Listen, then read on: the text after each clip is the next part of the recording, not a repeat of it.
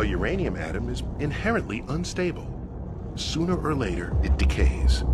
A particle from its nucleus breaks away, transforming the uranium atom into an entirely different element thorium.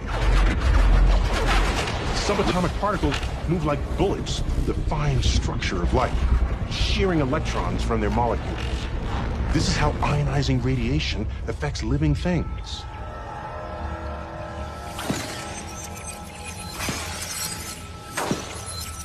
Those chromosomes never had a chance.